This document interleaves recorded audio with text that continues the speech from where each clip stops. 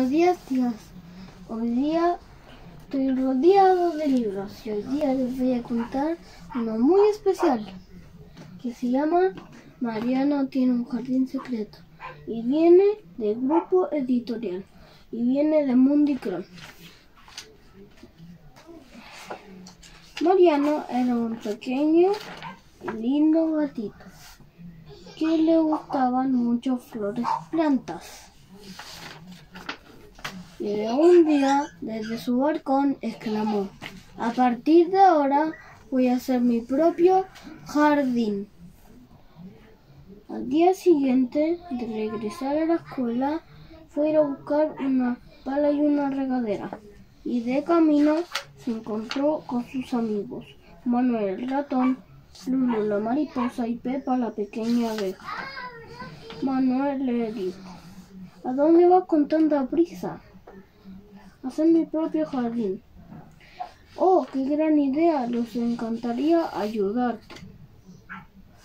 Un día, desde, su, desde el balcón, su abuela los espiaba y dijo, ¿qué estarán haciendo con tanta prisa? Una noche, su abuela le preguntó, ¿a dónde vas con tanta prisa? Eh, es un secreto, abuela, y pronto te lo contaré.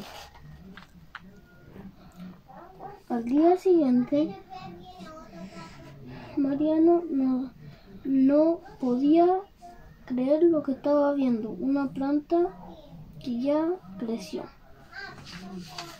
Fueron plantando más y más semillas hasta que tuvieron un jardín espectacular. Su abuela lo felicitó a todos sus amigos. Ella lo felicitó, pero, pero mucho, porque por todo el esfuerzo que hicieron. Era el jardín más hermoso que haya visto su abuela. Y colorín colorado, este cuento se ha acabado. Termina este gran libro que los enseña a cumplir todos nuestros sueños. Bye bye.